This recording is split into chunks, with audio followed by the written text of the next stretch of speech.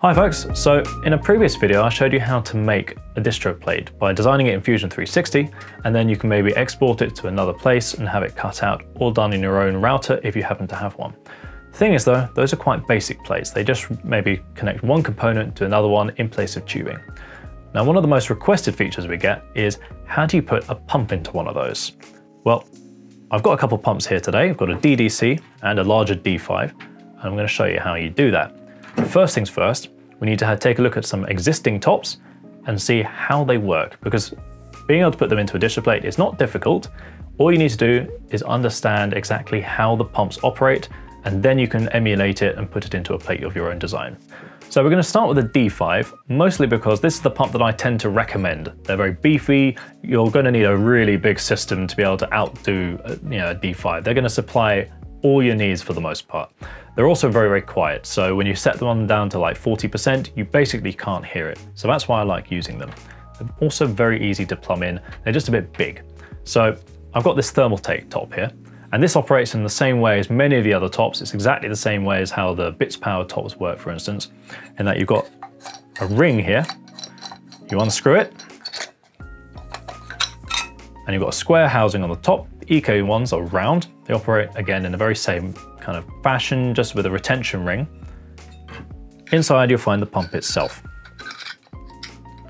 So all this housing here is primarily an aesthetic feature. I'll try and bundle the cables through the hole there.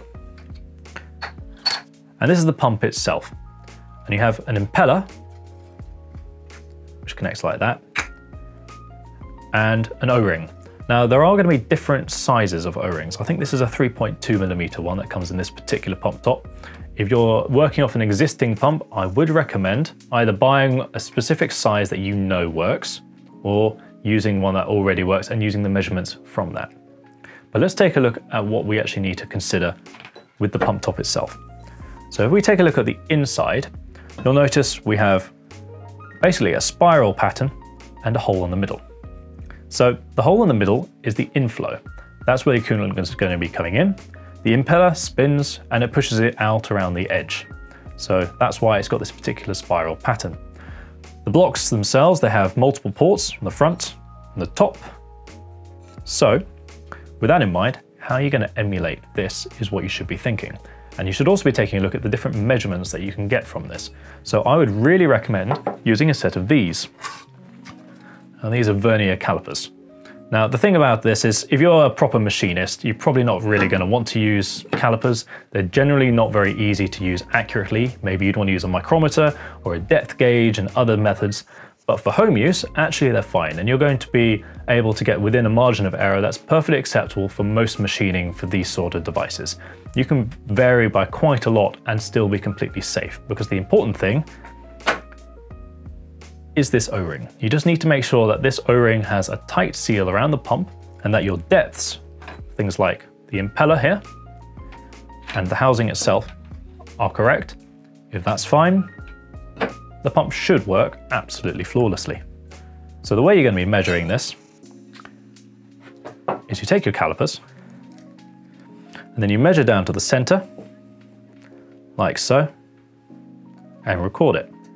So on this one, 12.5 millimeters. So when I'm designing my own D5 mounts, I tend to use 12 millimeters as the depth, which does mean you have to use something like 15 or 20 millimeter thick acrylic. You'll notice that the acetal that's been used on this one is actually really thick. That's about 30 millimeters thick, plus it has the mount on the back. So to give you an idea, you're using a distro plate, it's going to have to be thicker if you're going to be using a D5.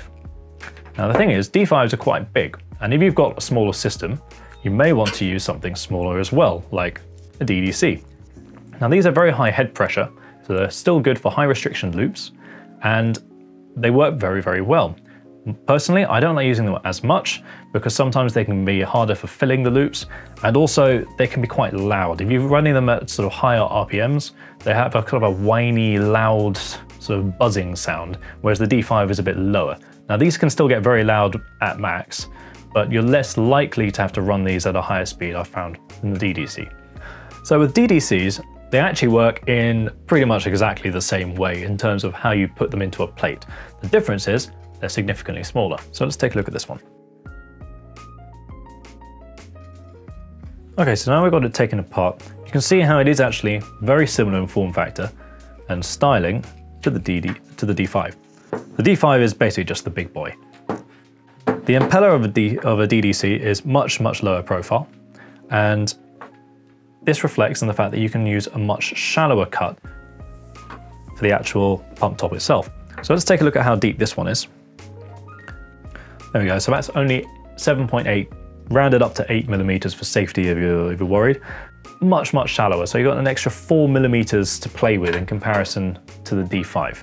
So that means you can use far thinner acrylic.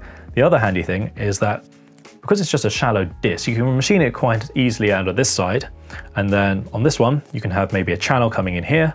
Instead, this one has it from the side. If you're doing this yourself, you may want to have the channel up here on the top instead. On the DDC, if you want to take this O-ring you want to have it in the pump housing itself, like so. And then this is screws. You'd have it screwed into the distro plate around the back with a cutout like this in the plate. Very, very simple. Now the D5 is a little bit bigger because it's bigger and you've got to have a bit more consideration about the area that it's going to be taken up with. Um, and also a lot of them use these sort of screw fashions. Now that's really difficult to try and machining into something because the way they do these, they quite often turn them or they'll be thread milling them on a larger kind of vertical machine. If you're using a router, the problem in trying to do that is you either need to have a big plate that you then cut the whole depth down, so you have like a protrusion that you can then cut around the outside. That's not very easy because that's an awful lot of cutting time. Or the way that I do it is instead of using a screw mount, I make like a bracket, maybe out of acrylic or out of aluminium, and then that just screws in in exactly the same way as the DDC. Just goes around the pump. So you have a pump like this. You have a hole which goes around the outside in the pump bracket, and you just screw it in. This is what I did in the 1000D project. I've got three different brackets that go around the pumps on there, and they just screw in from the back. Now, there is also another method you can use where instead of maybe trying to integrate this part, into the into the, like, the plate itself, you can make a separate pump bracket that's smaller and then has all the pump kind of workings in it. And then you simply screw that into the back. So this is what they do in cases like the um, Singularity Computer Spectre or some of the other kind of uh, distro plates that you can buy online. Mostly because that means that the distro plates can be made quicker and cheaper. And then they spend a bit more time making the brackets and they can do that in like a batch and have maybe 10 made at once and then you just screw them in. That's quite good because you can also then interchange them between them. So I'm going to show you two different methods later on in CAD how we're going to do that. So we've taken a look at how the pump tops operate. Now it's time to go jumping into CAD. So we're going to use Fusion 360 again and let's design up a couple simple ones just to show how it works. And then you can take the principles and apply them to your own designs. I'm going to make these particular designs that we're doing here freely available as well, so you'll be able to download those and then play around with things yourself. Okay, so we're in Fusion 360 now and I'm going to be showing you how to make something a little bit like one of these. So this is a pump distro for a DDC pump. Now, it's not a very complicated one, it's more of a proof of concept. I'm going to be showing you roughly how to do it and how to think about maybe integrating something like this into a design of your own. Now the good thing about starting with a DDC is that it's less complicated than a D5. You don't have to worry about the O-ring groove because that's built into the housing itself. You also don't need to think much about brackets or anything like that to hold it in place because you just use normal screws through the housing. So let's take a look at how you make this. I'm also going to be putting this file up for download in the description so you can play around with it yourself and maybe use some of the dimensions and things in your own drawings. Now it's worth mentioning I'm going to be using this for an EK uh, pump housing. It might be different in some others, so I would always suggest taking your own measurements just to double check everything. Now, in all likelihood, most of these measurements are going to be the same, but I do know that sometimes O-rings change, or maybe the screw placements can change a little bit. These are easy things to figure out by yourself. It's more about if you know what to look for, you can find it out yourself, take some calipers to it, just double check everything, measure twice, cut once. It's so important with CAD because you might not get another chance to do it. Maybe if you have your own machine, it's easy enough, but if you're outsourcing that particular work, I would definitely recommend making sure that all your CAD work is perfect before sending it off because whoever's going to be cutting it can only deal with what you've sent them, basically. They won't be able to double check everything for you, so the onus is on you to get it right. So let's take a look at how you do it.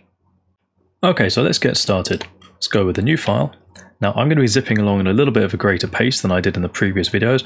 If you're not that proficient maybe with Fusion 360, I would suggest going over some of those particular ones that we had previously. Uh, I will of course have the files up for download so you can play around with things afterwards and make sure if you do find that you've missed maybe measurements, just pause the video, take a look there uh, and all the information will be for you. But I'm going to be going quick and dirty, maybe not labeling absolutely everything, being quite as clean as I should be, but the files will be good for you. So let's start a new sketch and using the center rectangle, let's make a plate, say, let's go 150 millimeters tall by 90 millimeters wide. I know that's big enough, so let's give that a go. And stop sketch, that's good enough for me. Let's label our sketch. Base dimensions, that will do. Now let's give this plate some thickness. E for extrude, and 10 millimeters, and we're going to want to click new component. There we go, so this is our first plate. Let's call this one front plate. And since we're going to be doing a bit of a sandwich layer of acrylic, let's do the second one. So E for extrude again, click the top face. Let's do 10 millimeters again. And instead of join, let's go new component, OK. And rename this one rear plate. Simple enough. So now let's see how to implement the actual pump itself. We want new sketch on the rear plate here facing us. C for circle. In the center, we're going to be putting a circle, and this is going to be dictated by the size of the impeller of the pump. Now for a DDC, you're going to be wanting to use 42 millimeters. So let's type that in and stop sketch. That's good enough. Let's name this one impeller cavity. Will do. And then click E for extrude, select our circle, and go minus 7.5. That's how deep this particular one goes. Okay. And then just for the inside, I'm going to be adding a little radius just to this edge here by pressing F for fillet and 0.5. This isn't essential. It's the kind of thing that I would do with a bullnose end mill if I'm making it myself. If you're sending it to someone else, you may want to omit it. It might make it a bit cheaper. Alternatively, if you know they've got the tooling, you can add this and it will just add that little nice round edge to this side. So now we need to add the inlet, and this goes in the center of this circle here. So new sketch, click the center, for circle, and we're going to make this 8 millimeters. Stop sketch, E for extrude, minus 2.5. No, definitely not 21.5. That's crazy. Minus 2.5. And that will put us through the first plate because we're 10 in total. Now, the premise is that the fluid will flow in through this hole into the impeller, which is going to be spinning around. It's going to throw it around to the outside, and then it gets pushed out to the outlet later. So we're almost done on this side, in fact. It's that simple for a DDC. So let's make the mounting points. Click again. New, well, let's name this one first so we know exactly what it is. We'll call this pump inlet. And we'll create a sketch. Choose our top face.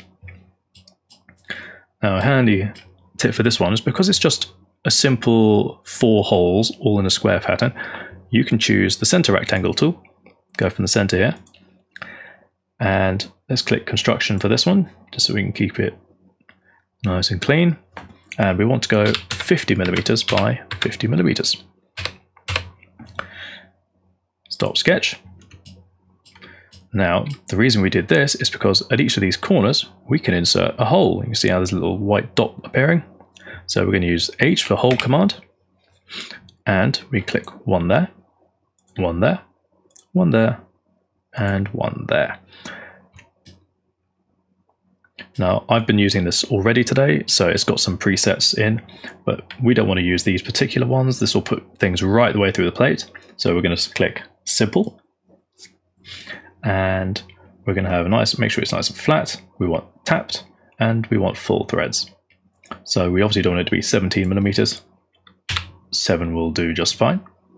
Make sure it's checked to 4 millimeters here. When you first start up, it might be some wacky number like 28 or something. Just select the right one and you'll be fine. That works, I think, okay for me. Looks like it's all going to the correct depth. Click OK. And there you have it. That's the actual pump integration itself. So how do we integrate it into a distro? Well, all we need to do is add the inlet and outlet channels. So how do you do that? Well, let's take a look at the outlet channel first. I think that's the most important of the two because that does all the meaty work. Adding the inlet's not very hard at all. The outlet is the important one. So we're going to make sure we want to add it to the same plate. It's going to be this rear one, but you have to add it from the other side. Now, if you look at a pump top from the front, the impeller looks like it's going to be going anti-clockwise. It goes clockwise from the rear. So that means you want to have the outlet running down this side over here of the circle. So first up, let's just get rid of this front plate, make it invisible, pressing the little light bulb. And we're going to be cutting from this side inwards here. So new sketch. Now turn it upside down. I'm going to use the project geometry command. So P, I'm going to project that, and we're going to project the inside here. Click OK.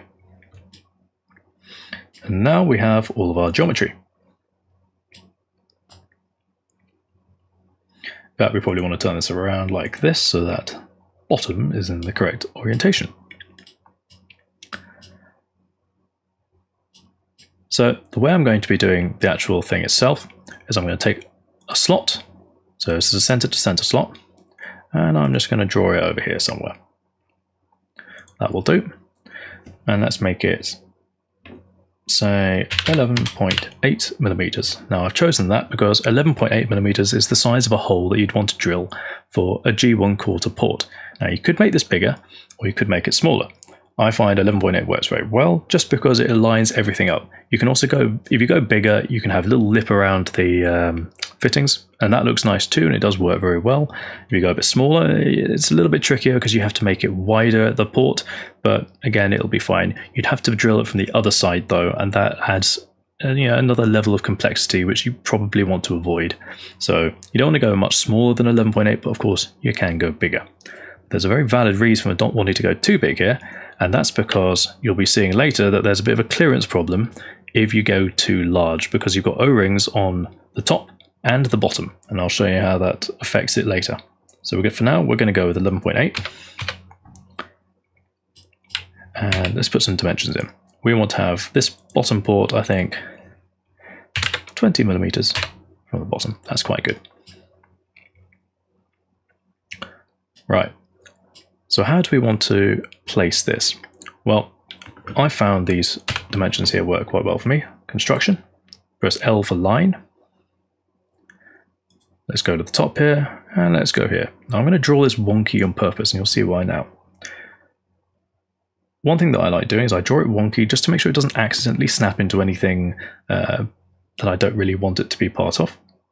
And then you can use the constraints here. Let's go horizontal vertical for this one. And now this one will always be vertical. And then using the constraints again, we're going to use the tangent, and that will take this line and make it tangential to the outside of the pump.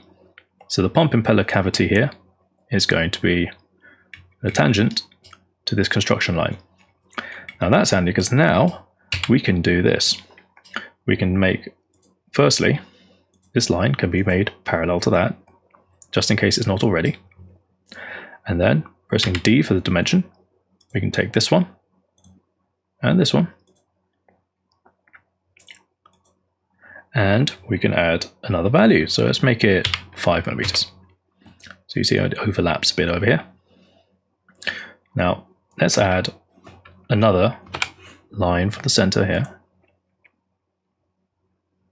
to the outside edge.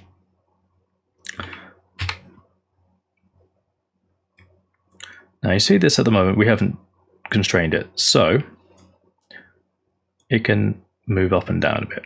It's a bit jittery at the moment because there's obviously something there. But if we pull it over here, D for dimension, let's dimension it against this line. And we can make that 12 millimeters. It brings it down to here. Right, that's fully dimensioned up. Let's stop the sketch. So let's firstly name this one pump mounting holes. That works for me. And we'll name this one outlet rear. Being able to keep track of all your sketches is a really good idea because when you've got a big sketch and a big job, you might have 20, 30 sketches or so. So being able to just find out, find them all, just knowing exactly which one is which, is really handy. So we've now got our channel drawn in. E for extrude. I'm going to click both of these. And we're going to bring it down seven millimeters, maybe. That works quite well. And you can see it cuts into the circle over here. And this is what provides the whole pump direction. The impeller is going to be spinning around this way, like this, and it's going to push the fluid through this hole. Now you can try going to town on this and making it more efficient. You see you've got some lip here. This is the sort of thing which can add some vortices and you know harm flow a little bit. Real world performance, it doesn't actually matter that much. Uh, and if you ever get to a point where you're very close to pushing that boundary, you've probably got other bottlenecks that could improve it more. Um, if you happen to be more proficient in CNC machining and you've got the, the, access to it, then you can make this as fancy as you want. The professional tops tend to be thicker and they drill in from the side. Uh, that's very difficult to do for distro plates, so I prefer just to do this very simple method. I've done it in many, many plates and it does work very, very well. But at the moment, we've only got half a plate. So let's just do the front now. Let's make this one visible, make this one invisible. And we want to sketch on the inside here. And now we're going to play jiggery pokery a little bit. So we're going to make this visible again, that invisible. We're going to turn this around. We're going to click project geometry. We're going to project this whole face here. And then we're going to turn it around. And you want to know where all the screws are as well. This is quite important. So we're going to project this face as well. Click OK. Now this is important because if you don't know where these screw holes are, certainly a lot later on at least, it's going to be quite difficult trying to keep track of them when you're adding in the screw holes and you could end up with a clash going through one side into one of these. It does happen, especially when you get more complicated plates with lots of runs everywhere. So let's hide the rear again, go back to the front. And let's add a slot here. Center to center, and we're going to go from the middle this time. Go straight up. We're going to do the same, 11.8. Trusty measurements.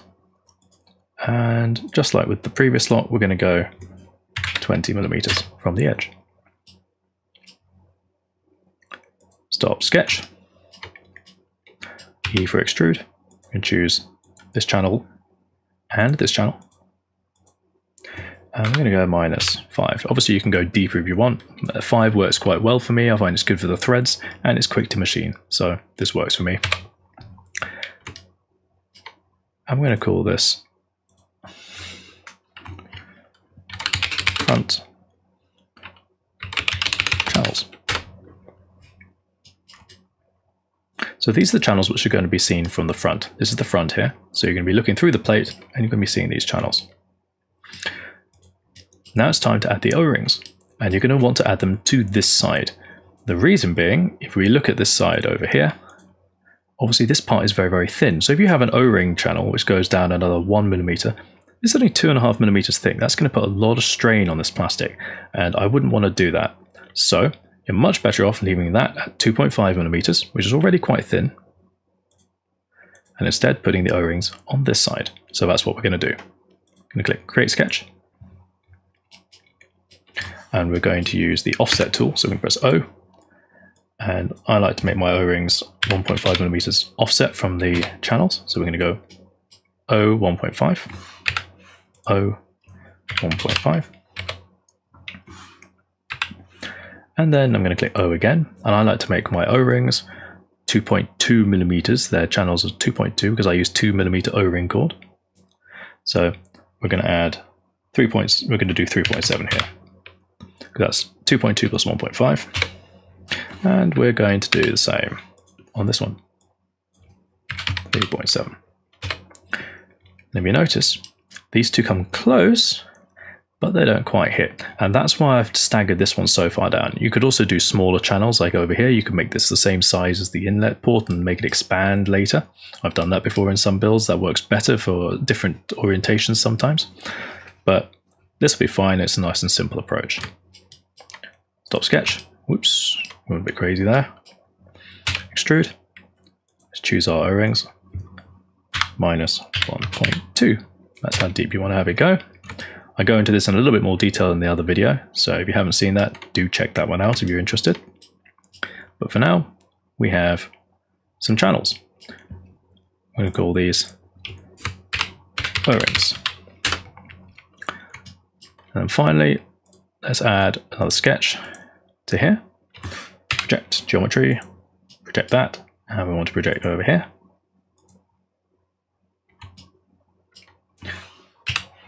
Let's do that one again. That's much better. C for circle. I'm going to go to the center here, 11.8, and we're going to do the same down here. Sketch. We're going to call this one ports. Okay, extrude. Minus 5. And now we have our ports. Now to this, let's go and add some screw threads. Click these two. Control to add that one as well. I'm going to change from metric to BSP pipe. Automatically goes to one quarter because that's the closest one. And we don't want to go all the way down. We want to go just five millimeters will do me. So five. Beautiful. So it's getting there, but it's not quite there yet. We obviously need to add some screw holes. And this is the last step for this. I'm going to create a new sketch. And just like before, we need to project all of our geometry so we know exactly what we're, what we're doing, where we're working. So we're going to start with this one. There's B. Click the channel, click this channel as well. Have both of those. And then we're also going to project everything on this side. So P for project. Okay. Let's go back to the, let's go back here. We can have everything visible at this point.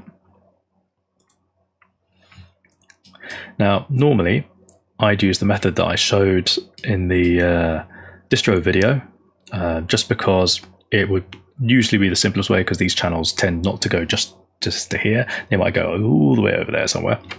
But this is very small, so let's forget about that. And let's just click, go with points. So points, point, and let's put one at the top, here, here, here. Let's put one here because this is at center point of the line. That seems like quite sensible. Actually, let's not do that because that's a silly thing to do. Now, why is it a silly thing to do? Simple. I'd be putting it straight through the O-rings. Let's click over offset, and we want to put this out five millimeters, just to help us make it a construction line. And we're going to do the same here. This is the pump impeller ca cavity. You obviously don't want to put any screws through that, so five millimeters. And we're going to do the same for this one. Five millimeters. Right, now we're a bit better prepared. So we're going to go with point. I'm going to put one there. And here. And here. And there we go. There's our center point. Let's put one down there. Put another one there. Let's go down to the bottom here. That looks good.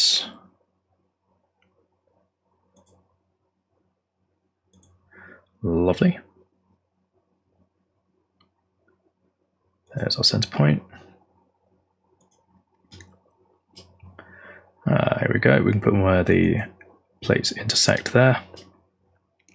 I think having one over here is quite a good idea.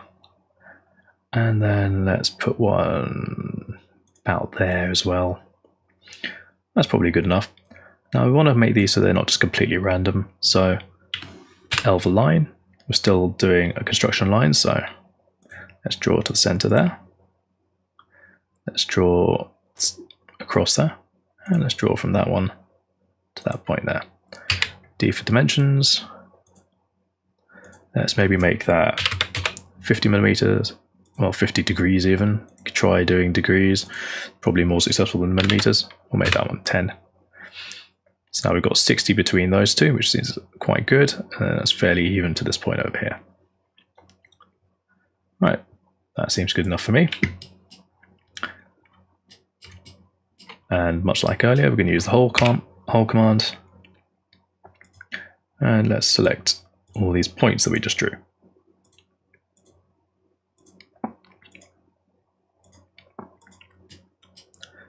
It's really important just to be careful when doing this because it's very easy by accident to have one of these line up with say a previous hole like one of those or an o-ring like I almost did there without putting my offsets in or going through the impeller cavity. And this is quite a large area, so you want to have a decent number of screws here just to give a good even pressure throughout it, because you don't want anything leaking out at this point. Um, and it definitely can happen, so you just want to be very careful here. So that we don't have to do lots and lots of different operations, let's go with counter bore. Let's make the whole total depth 17 millimeters because we want to cut through both plates. Let's make that top one 10. Make sure that the thread size is still 4 millimeters. And that will go all the way through both plates. Lovely. Now I think it's about time we just add some countersinks. Let's add some chamfer. Now you can obviously do this using the hole command as well.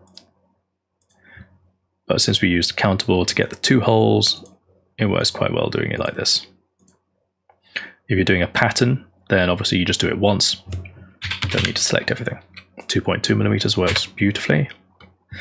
And let's just finish this off with a nice fillet on these corners. Let's make that 10 millimeters.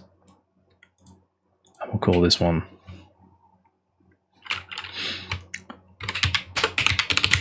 channel holes. Perfect. And that's a completed distro pump. Now it's hard to see like this, so let's click A to change the appearance. And let's choose something nice and clear, like, uh, where is it? Let's see, glass. Frosted glass works nicely, I think. Beautiful. Now you can see our handiwork. So, if this was sitting in a build, it would look like this. You'd have the pump would be on the back, the inlet would be coming up from the top into the center, flows around, and then comes around to the side. And that is how to make a DDC pump top. Of course, you can change the design, you can throw around different ideas. This is just a good baseline to start off with. And it's also a good point to move on to the D5. So let's take a look at how you do that. Right, so I've loaded myself up with a nice large coffee. Let's get going with the D5 plate. So much like with the DDC, we're going to be working towards making something a little like this. It's a very simple plate design that's more of just a proof of concept. I'll show you how it works, and then you can make your own version and make whatever changes you wish. The main change between a DDC here is that we have a retention bracket, and we're going to be designing that one up as well. This is a particularly simple bracket that I like to use just because it's easy to machine. It's made out of the same 15mm acrylic that I'm going to be using for the rear of the plate here, now, it's a little bit bulky, so if you did want to cut down, you could use something like aluminium or a stronger material like acetal, which is more resistant to pressure and tensile forces. Uh, the issue with the acrylic one is, of course, you need to make it a little bit thicker around the sides just to prevent the screws from tearing it apart. But it does work very well, and I've used them quite often. And it doesn't need to be just this exact shape either. So if we take a look at this one that I used in the 1000D, it's incredibly funky. Notice we've got the placement of the screws is all over the place, and it's got some interesting aesthetic features that go all the way around. And this basically makes it wrap around some parts that I've already got. So the handy thing about these is you don't need to be really strict with them. Another thing you can do is maybe use a different mounting mechanism. So you could make something like this, or you could have one with an external screw thread. That's the sort that you'll find on most pump tops like the ones from Bitspower or Thermaltake and EK. Alternatively, you can go with as simple as you possibly can. It's up to you, it depends on what you're able to machine and what you're able to design. I like this one because it's simple, it's risk-free, and I know it's not going to cause me any issues down the line. But if you were maybe doing, say, a medium-sized batch of uh, these kind of plates, say you had to make 10 or 15, then you might want to choose a different mechanism, which allows you to just slot it on instead, and then you only have to machine the small part using the double-sided ops, which is easier than trying to do lots of large ones. But for now, let's take a look at how to create a piece like this. If only you knew just how many takes this has taken so far. I feel like Tom Cruise in Edge of Tomorrow or something. But in essence, I'm going to be going through this fairly quickly, much like with the DDC one, because some of the content has already been covered in the previous sections. If you do want to download the file, it's linked in the description. You can play around with it in Fusion 360 yourself for any kind of measurements and reference points that you may want to take. So let's start the new design, new sketch. We're going to use center rectangle again, go from the center point. We're going to make it 150 millimeters tall by 90 wide. That works for me. Stop sketch. I'm going to label this one base dimensions. E for extrude. I'm going to go up 10 millimeters and we're going to make it a new component. Label this one front side. E for extrude. Same face. I'm going to go up 15 millimeters this time. I'm going to click new component and this is because the pump impeller is much thicker on a D5 compared with a DDC, so we need a thicker piece of acrylic. I'm going to call this one rear side. Now let's mount the actual thing into itself. New sketch. I'm going to go from the center, circle. The size for the DDC is 42 millimeters. We're going to go bigger this time, so we're going to go 49.5. Stop sketch. Impeller cavity. Evo extrude, center, minus 12. So we're going 12 millimeters down this time. F fillet, going to add a 4 millimeter fillet here. This part is optional. I like to machine this. It makes it a little bit smoother. It's very easy to add a fillet like this with a ball end mill. Of course, if you don't have access to that sort of thing, just use whatever you have. So it's either going to be flat or you can use a chamfer mill, something like that. That's how I used to do it before I could do the rounded edge. We're going to not extrude anything yet because we have another sketch. We're going to do new sketch, center point here, much like with the DDC, it's had a 10 millimeter one this time, so again, a little bit bigger. Pump inlet. E for extrude, minus 2.5 millimeters. You know what? Let's actually use the correct depth. Let's edit that to minus 3 on auto mode. Now we've gone all the way through the 15 millimeter plate. But unlike the DDC, we're going to have to add an O-ring. So again, new sketch. Our O-ring size, let's go from the center, C, circle, and we're going to be doing 52.5. It's the internal. And then the external is 60.5. Now make sure you do measure your O-rings. Not all O-rings that come with pump tops are the same size. Can't go wrong if you just simply measure them. This has worked very well for me with the ones that I get sent. I tend to use a lot of the ones from Thermaltake and EK, but if you're using from other manufacturers, double check everything. And of course, you can always buy O-rings by themselves, so you don't have to use ones that come with it. These are kind of fairly standard sized O-rings, so you should be able to source them online, no problem. Stop sketch. Pump. O-ring. Extrude. Minus 2.4. Right, fantastic. We've now got the basis for the mounting point. Let's add the channels onto the other side. So to do that, we're going to just flip this around here. We're going to click the light bulb, make that invisible, new sketch. And then we're going to project the geometry from the other side. We want the inside here, this top ring, and the outside. Brilliant, and let's put it all like that. Let's put it the correct orientation. Now what I'm going to do is I'm going to add a few construction lines first to this. So for line, click construction. Let's add one here. And now I'm making it wonky on purpose, that one. This one I'm going from the center directly outside. I'm going to be using the default constraints. You can see it's snapped to be nice and perpendicular here. I'm going to click parallel, make this line parallel to this edge, and then I'm going to be using the tangent to make it tangential to this interior line here. So this is the line created from the interior fillet, the four millimeter fillet. And that's a good point to put your channel. So let's do that now. We're going to use the slot. We're going to start here we're going to drag it along this line. And we don't want this to be a construction, so let's click that off. And I'm going to use my favorite 11.8 millimeters. Again, that's the same size that you'd use for adding in a G1 quarter port. That's why I like that size. We're going to put the end here 20 millimeters from the bottom. And then I'm going to take this one and I'm going to bring it down three from here.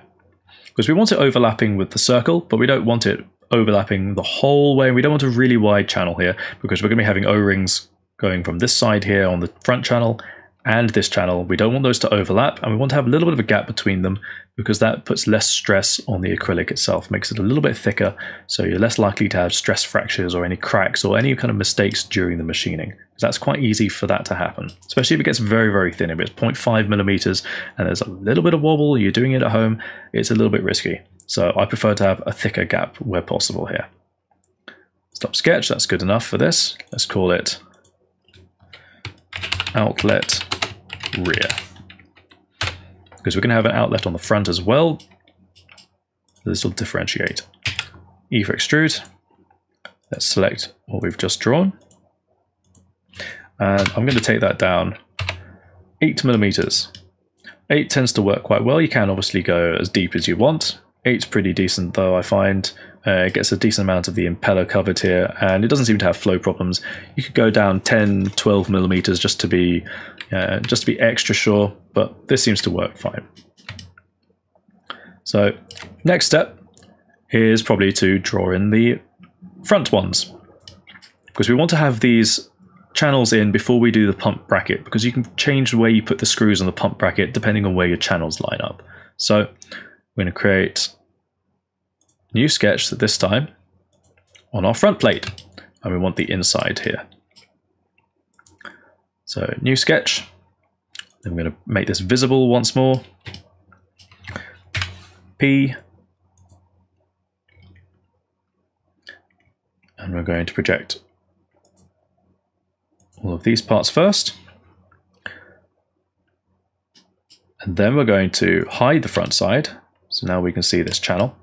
And we're going to project this side as well. Bring that back and make the rear side invisible this time.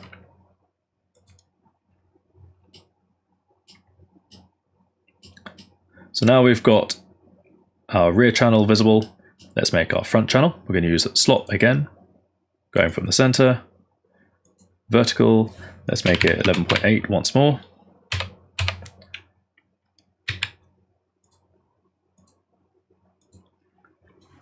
And let's make that 20 millimeters from the edge, just like the other one.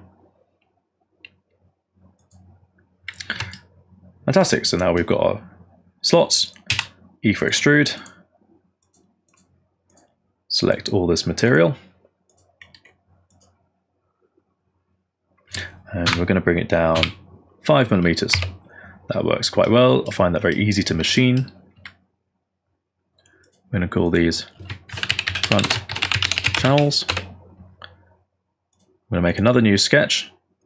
You can do this at any given point. I'm going to do it now. P. Select these two. Of course, it doesn't always like doing that for some reason, but we're going to go C anyway. We're going to go from the center here.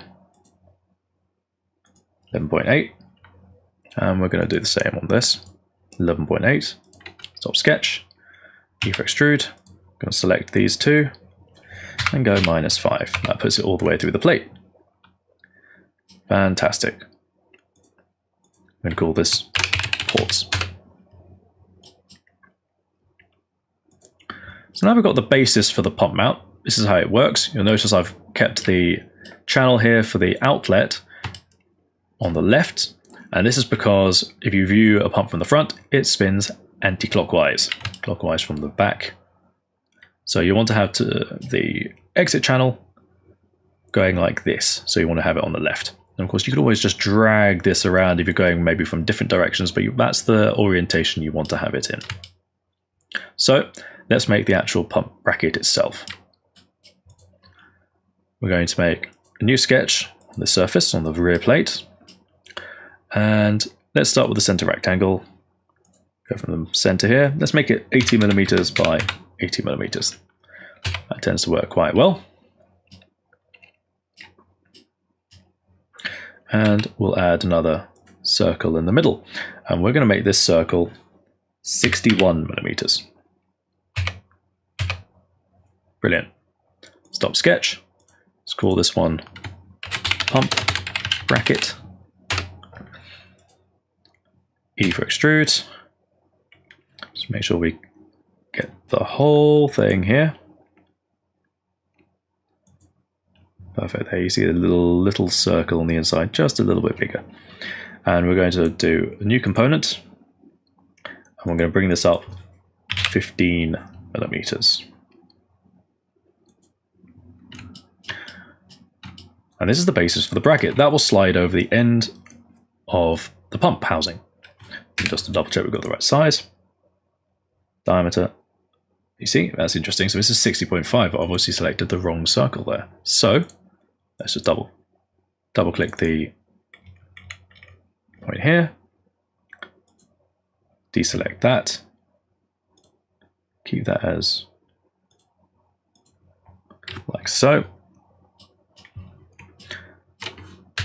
Let's inspect that. 61. Now we're at the correct size. Way. We'll call this one pump bracket so we can keep track of what's going on. Bracket. Now what we're going to do is we're going to hide these two. We'll make a new sketch on this side. And this is what's going to slide over the top of the housing and provide the clamping force. C we're going to make this one 66.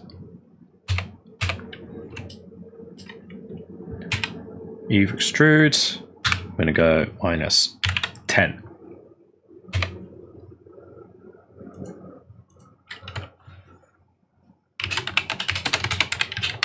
Pump bracket, uh, ring. That's not a bad idea. Let's call it that. So this is the basis for the bracket itself. It's not a very complicated thing to do. Again, you can choose different designs, different materials. This is a good baseline standard. But we need to add some mounting holes, and this is why I wanted to have all these channels in earlier so you can see exactly where to put those. If you're doing a more complicated design, these channels might not come out like this. They might come out of this way or that way, and all manner of different directions. So it's a good idea to do it like this, and then you can put the holes in where they're not going to intersect with any other parts. So go create sketch, now for this one, I'm going to be doing something like this. So let's go L for line, construction. Let's go from the corner. And let's have it intersect with the perimeter here. Let's make that for let's make that 45 degrees.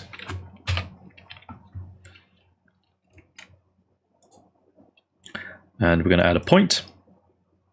Let's pop it on the line here, that works nicely. And then what we're going to do is we are going to select this point.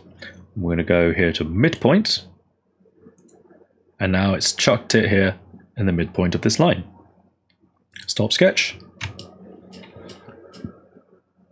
H for hole.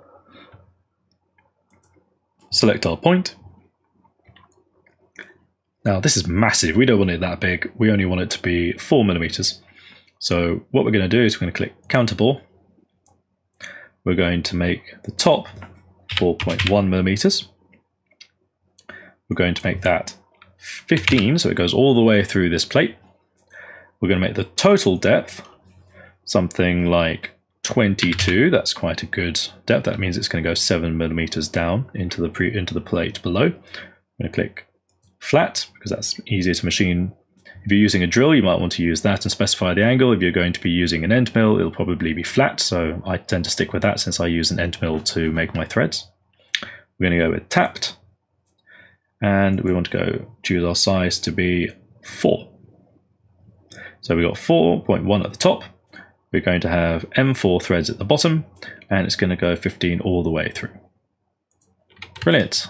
So now we've got a hole. Let's add a countersink to that.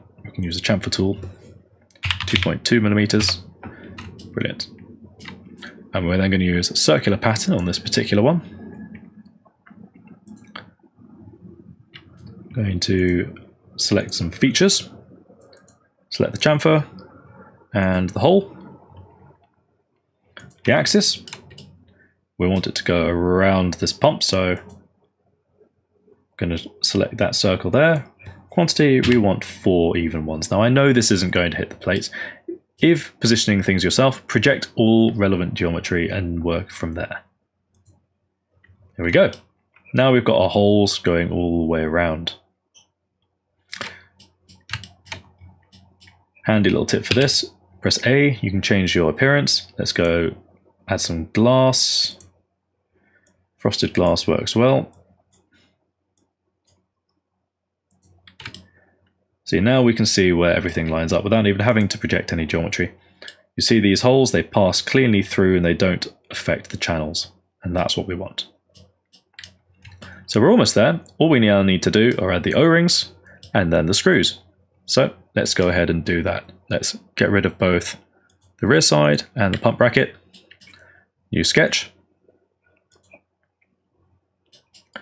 Going to use our trusty offset tool select 1.5 millimeters, O, and because we're using 2 millimeter O-rings, let's do 3.7, so it's a 2.2 millimeter O-ring channel here, and let's do the same for this channel down here.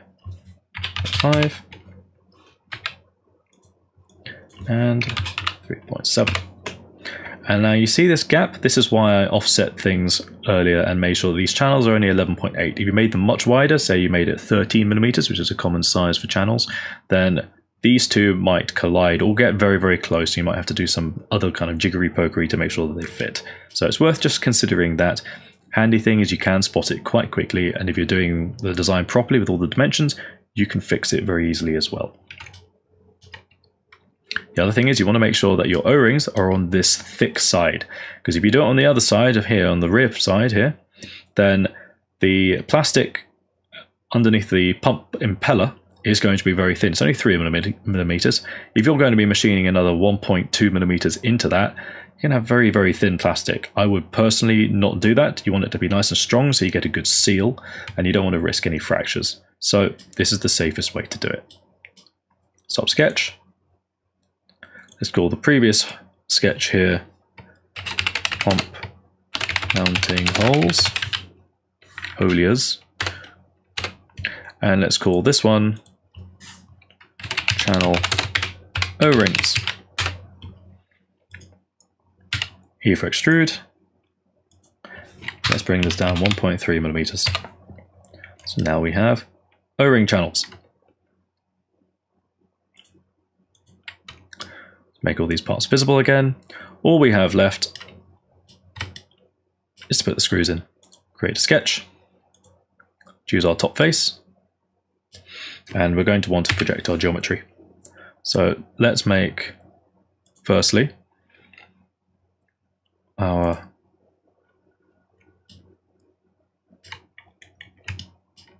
O-rings. So these are our channels, we want to be going from those. And then let's make rear side visible. Get rid of that. And now we want to make sure that our pump cavity is visible. So we're going to do the same with the O-ring channel here and the internal channel here. Great, so now everything is visible, so we know exactly where all the holes are going to be.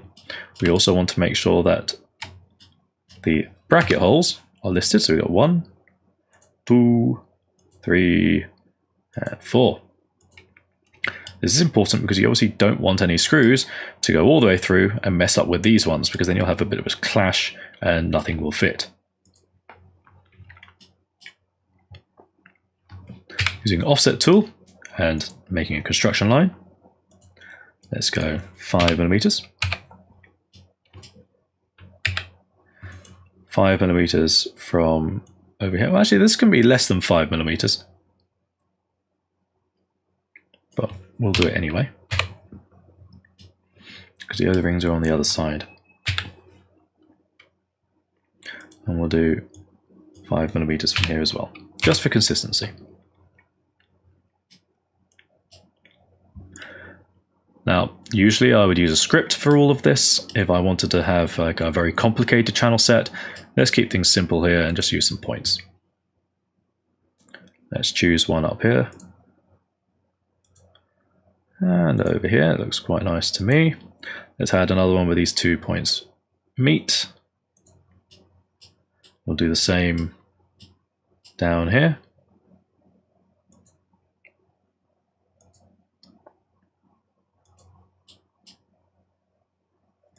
And a point over there, I think that works for me. We'll add one up here. And then let's add one at the halfway point. Perfect, there we go.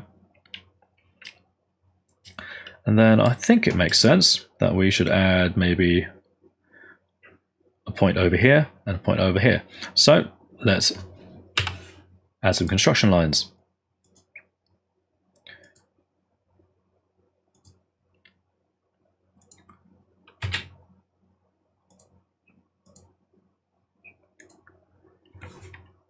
We can make that 45 degrees, make it nice and even. Because you could always make it a little bit more. Bit beyond there, so maybe let's make it 50 degrees. Not essential, but it's a nice to have. Let's add another point back. We'll add one here. And we'll add one here. That's probably good enough for this. Stop sketch. We're going to go back in and we're going to use the hole command. And we're going to select the points that we've just done.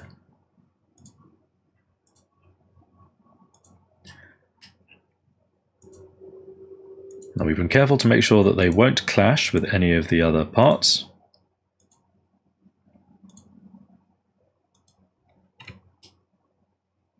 Looks good to me. These are the same settings as before. And let's add some countersinks. Again, if you're doing a pattern, you do this on the first one, and then the countersink is going to be patterned along the whole thing. So you don't click that edge. This is the only tricky thing about using the glass material is that it can be a little bit challenging to see things. You can change the opacity of the glass just to make it a little bit more visible. I tend to keep the glass off until the very last second and then switch it back if I need it, if I don't need it any longer. And let's go 2.2. Fantastic. And let's call that channel holes. Let's just clean everything up with a nice fillet around the corners.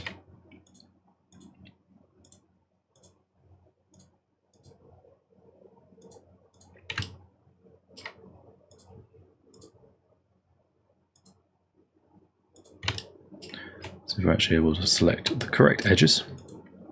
Let's make it a nice 10. And then let's add a little chamfer to the back here.